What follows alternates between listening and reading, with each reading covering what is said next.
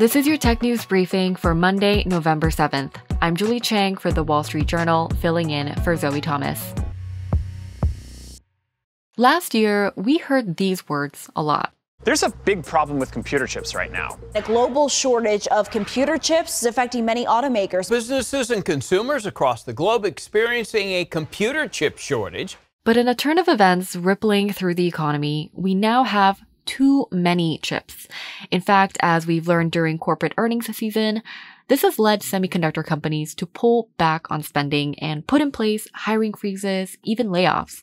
So, how do we get to this point and where does the semiconductor industry go next? Here to break it down for us is WSJ Semiconductors reporter, Asa Fitch. Asa, thank you so much for being here. Happy to be here. Thanks. So, for those who may not have been following everything going on in the chip industry, can you explain to us why we are suddenly finding ourselves in a chip glut? So, there was a surge in demand at the outset of the pandemic. And the result of that was chip companies said, oh my gosh, we have to produce as many chips as possible to satisfy this demand. And so the people who are making phones and PCs to cater to all that demand, they were buying lots of chips. They wanted to stock up, essentially. And now demand has fallen off because of the shift back to working in offices and things like that. And those companies, those manufacturers of PCs and phones and things like that, are sitting on huge piles of chips. And those manufacturers are responding by saying, you know, we're not going to buy extra chips. We're just going to use what we have and draw down those inventories over time but for the chip companies, that's bad because it means new orders aren't coming in. And what have companies been doing in response to all of this? So companies have been essentially becoming much more conservative on how they run their businesses because there's no longer the shortage that we've had over the past couple of years and the markets are trending downward. So a lot of companies have frozen hiring, some have started layoffs like Intel, Qualcomm froze hiring. They're basically just belt tightening big time. So, some of us may have heard that the chip industry is cyclical. Could you briefly explain to us what that cyclicality means and if this particular cycle is any different than previous ones? Yeah, the chip industry is defined by its cycles. It's just a feature of demand for electronic devices that it tends to be very up and down. People buy a lot of stuff, and then when economic times get worse, they decide not to buy the newest, best, latest model. And so when those consumer buying patterns change, the chip companies just have to deal with the rut that results from that. And so it just tends to go up and down a lot. This cycle has been historic in terms of both how high it rose and how long it lasted.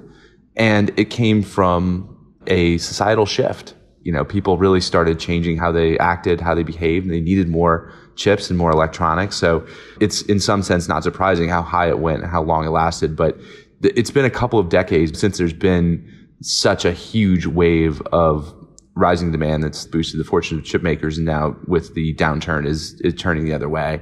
The last time that there was such a huge surge in demand was actually in the early 2000s when you know mobile phones started taking off. So it's really been since then since we've seen such a big surge. I'm sure a lot of listeners are wondering what this is going to mean going into the holiday season because, you know, tech goods are particularly popular during this time. Yeah, I mean, it could be an interesting holiday season for these tech companies or these producers of PCs and smartphones. Demand is going down. You know, normally there's a surge in demand at the end of the year.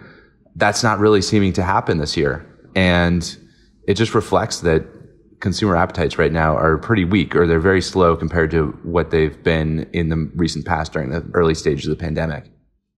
You know, there have been reports about automakers not having enough chips they need. Some automakers have said that they see a chip shortage up until next year, 2023. How does that fit into all of this? Yeah, I mean, the chip industry basically is going for an environment where everything was in shortage and there was just sky high demand to a more fractured industry where consumer device linked types of goods and the chips that go into them are going downhill very fast. But certain other pockets in other industries are still very strong, like automotive, some things like industrial automation and things like that. Those things are still moving forward pretty quickly. So it's really become more of an up and down industry and the auto industry is still kind of very hungry for chips and in many cases can't get them. And we're still looking at production cuts at companies like Toyota because of these persistent issues with semiconductors. So it's not all a bleak picture for everybody. And of course, we have to talk about the CHIPS Act that was passed in the US over the summer. That act was meant to boost domestic semiconductor production. I mean, how does the CHIPS Act play into all of this?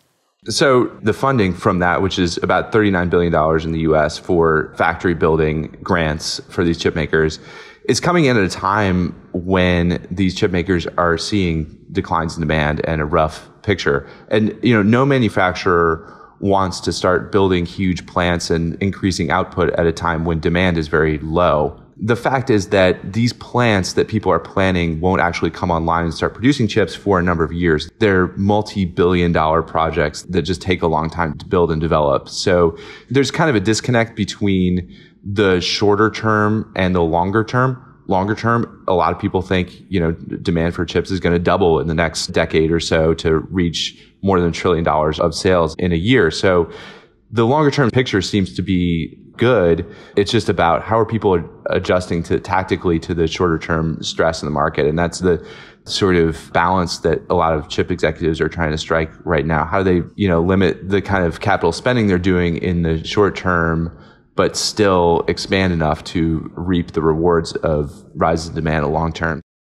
All right, Asa, we're going to have to leave it there. Asa Fitch, semiconductors reporter with the Wall Street Journal, thank you so much for being here today. Thank you. And that's it for today's tech news briefing. If you want more tech stories, check out our website, WSJ.com. I'm Julie Chang for The Wall Street Journal. Thanks for listening.